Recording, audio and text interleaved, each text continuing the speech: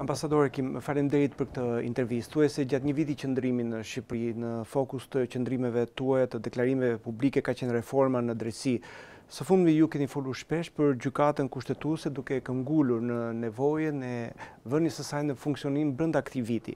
Sa realist është ky objektiv, duke patur parasysh se deri tani është dashur një proces i gjatë, ndoshta edhe më shumë se një vit për vlerësimin e një kandidature, Ndërkohë që aktualisht dy nga tre vakancat nuk ka as tre muaj që janë shpallur.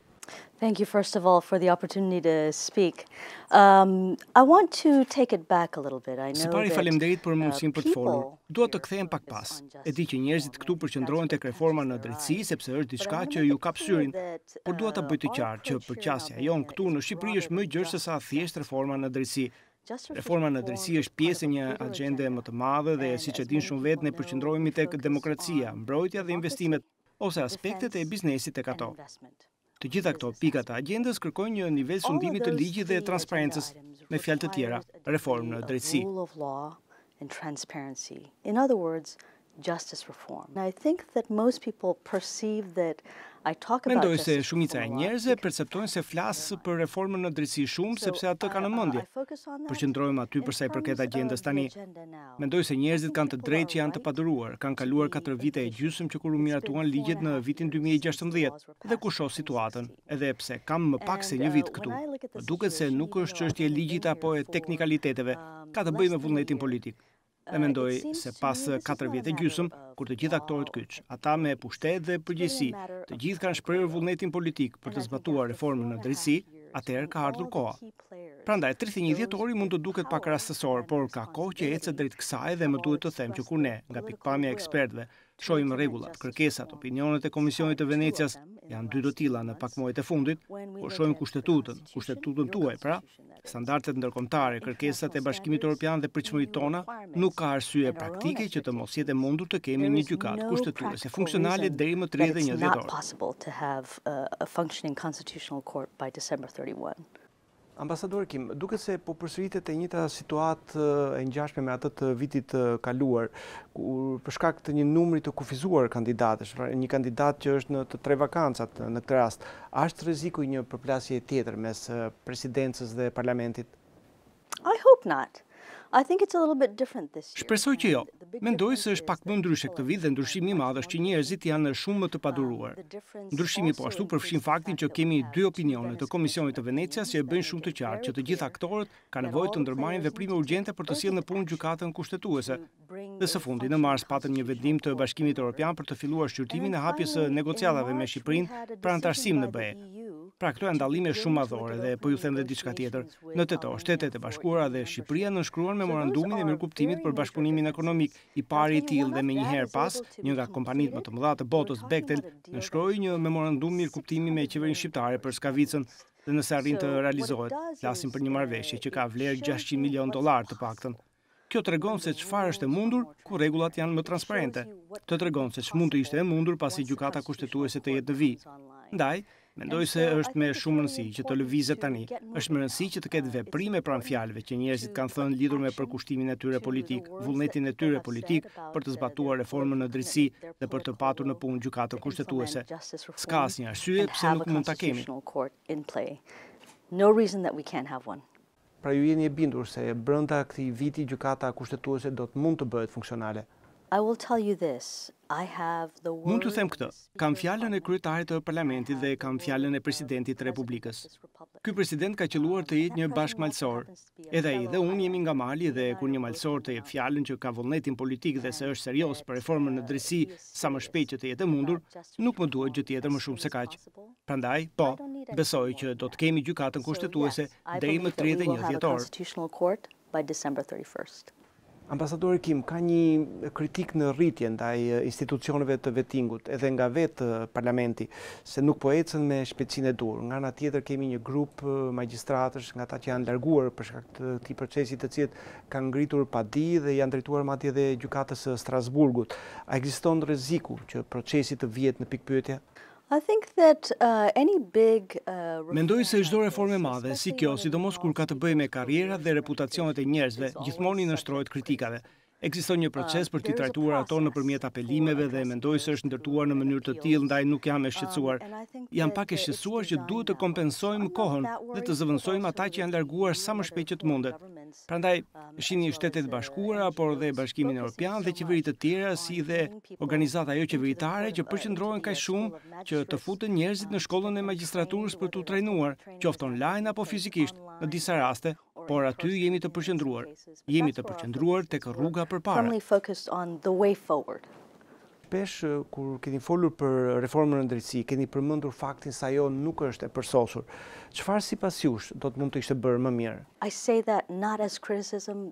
Këtë nuk e them si kritikë, por si përshkrim faktik, edhe për të thënë se do të na duhet të punojmë shumë fort dhe se ata që do të duhet të punojnë më fort janë shqiptarët jo të huajt. Megjithatë, tek e fundit në pikëpamjen time mendoj se është shprehur shumë qartë në ligje që ka përgjegjësi që iu përket zyrtarëve të caktuar. Shihni reformën në drejtësi katër vjet e gjysmë. Pse nuk ka pasur një gjykatë kushtetuese? Nuk është se nuk e duan amerikanët, sepse ne e duam. Nuk është se nuk e duan europianët, sepse e duan. Sigurisht që nuk është se nuk e duan shqiptarët, sepse e duan dëshpërimisht. Dhe ka njerëz që kanë përgjegjësinë për të ndërmarrë veprime ndaj, prandaj vazhdoj të përsëris se është çështje e vullnetit politik. Është koha për të demonstruar se vullneti juaj politik është i vërtetë dhe t'ju bashkoheni veprimeve me fjalë. Ju përmendët pak më parë çështjen e korrupsionit. Në fakt është një problem shqetësues në Shqipëri. Ne kemi ligje, kemi strategji, ato nuk mungojnë, por ajo që mungon në fakt janë ndëshkimet ndaj këtij fenomeni. Në këtë kontekst, sa problematike e shihni ju situatën?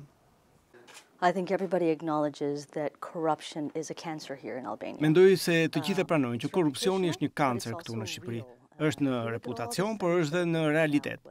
Nëse sheh të gjitha studimet që janë nxjerrë, qoftë indeksi i transparencës apo dhe raportet që nxjerr Departamenti i Shtetit çdo vit, është e qartë që korrupsioni është problem. Dëgjoj dhe histori këtu. E dini, unë flas me njerëzit um, dhe përpiqem të krijoj një ndjesi dhe ajo që bëhet e qartë është se realiteti dhe perceptimi është shumë i rrezikshëm. Prandaj është e rëndësishme që SPAK të funksionojë plotësisht. Siç e kemi parë në javët e fundit, Prokuroria e Posaçme ka deklaruar disa hapa konkretë për çështje me rëndësi dhe tani jemi në proces duke ndihmuar shqiptarët të ngrenë Byronë Kombëtare të Hetimit, FBI-në e tyre, që hetimet të mund të përshpejtohen. Le të mbetemi tek spak. Spaku krijoi pritshmëri të larta. Ka një sërë padish denoncimesh, për shembull për koncesione të dhëna në shumë sektorë apo çështje të tjera, mbi të cilat janë ngritur dyshime, por ende nuk duket të ketë hetime të thelluara. Ju keni dhënë mbështetje të hapur dhe besim veprimtarisë së kësaj prokurorie, por duket sikur po krijohet përshtypja se dhe spak druhet të merret me nivelet e larta. Shihni faktet, mos i vini veshin propagandës sepse e di që shumë njerëz duan të pretendojnë se s'po ndodh asgjë dhe se mund të ndodhë ndonjë gjë ndonjëherë dhe se të gjithë duhet ta pranojnë që Shqipëria është e korruptuar dhe jeta kështu është. Jo.